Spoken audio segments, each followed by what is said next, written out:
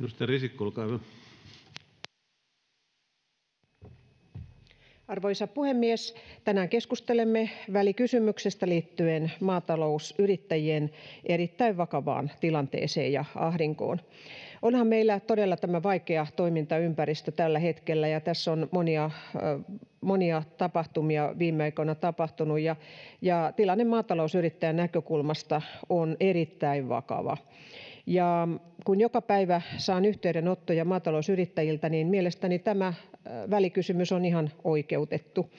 Maatalouden kannattavuuskriisi on syventynyt talouskriisiksi viime syksystä lähtien. Toki tilanne on ollut vaikea jo vuodesta 2014. Silloin Krimin valtaus, silloin tuli pakotteet, viennin romahtaminen ja siinä todellakin niin sanottu halpuuttaminen. Ja tuotantokustannuksia ei ole saatu kunnolla katettua markkinoilta.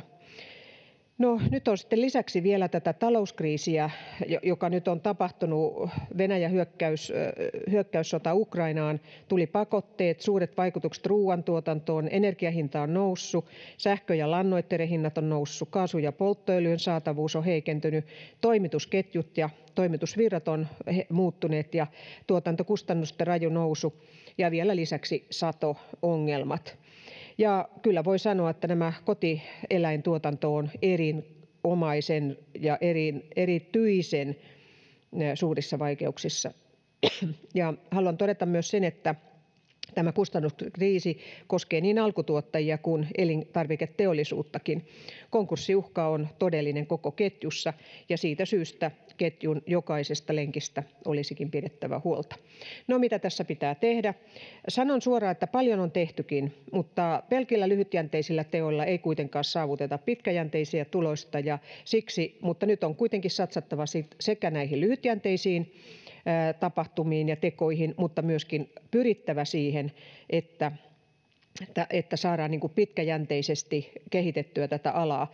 Itse tulen tuolta Etelä-Pohjanmaalta, ja voi sanoa, että meille on tärkeää sieltä, että pellolta pöytään saadaan puhdasta ruokaa. Se on myöskin huoltovarmuuden näkökulmasta erittäin tärkeää, että meillä on omaa tuotantoa, ja siksi teen kaikkeni terveystieteilijänä, että me saadaan jatkossakin kotimaista puhdasta ruokaa koko Suomessa. Se on ihan huoltovarmuudenkin näkökulmasta. Mutta niin kuin sanoin, paljon on tehty. Silloin ministeri Lepän aikana oli Reijo Karhisen raportti, jossa on paljon hyviä toimia, ja niitä on jo toteutettukin. Ja sitten tietysti, mistä täälläkin on puhuttu, että kyllä sen tuottajan pitäisi parempi hinta saada No, mä olen kiinnittänyt itse tehnyt aloitteitakin siitä, että julkiset hankinnat pitäisi nyt katsoa, meillähän on pitkät sopimukset kunnissa ja kuntayhtymissä, niin kyllä mielestäni tässä nyt olisi hyvä, että kaikki lähtisi niin näihin talkoihin mukaan ja, ja pitäisi pystyä huomioimaan kustannusten nousu ja sitä kautta huoltovarmuuden turvaaminen. Hyvinvointialueet, kunnat ja kuntayhtymät ja nämä pitkät sopimukset on todella hankalia. Olenkin sitä mieltä, täällä on puhuttu hankintalain uudistuksesta, mutta itse olisin sitä mieltä, että hankintalakiin pitäisi saada myös tämä huoltovarmuuskirjaus, koska jos siellä olisi ollut nyt tämä huoltovarmuuskirjaus, niin nyt olisi kyllä sitten pystynyt puuttumaan näihin, näihin pitkiin sopimuksiin. No sitten tietysti tuotantokustannuksiin tukia, tukimuotoja. Siellä on sähkömarkkinoihin, markkinoiden vaikuttaminen, kustannusten hillintä ja kompensointi, kustannustuet ja niin edelleen. Tästä on pitkä lista myös kokoomuksen omassa listassa.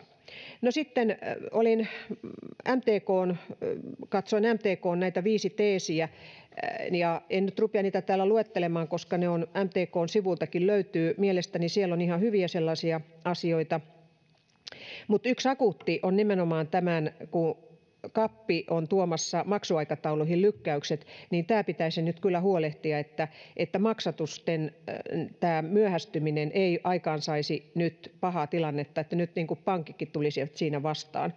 Viennistä sanon, mitä täällä on sanottu myöskin, että meidän pitäisi saada vienti vetämään ja, ja nimenomaan tällaista niin vienti, vientiä en, enemmän ja siihen kiinnittää huomiota. Myös kuluttajien käyttäytymiseen. Toivon, että me suosittaisiin sitä kotimaista ja nimenomaan siellä omalla paikkakunnalla olevien maatalousyrittäjien tuotteita.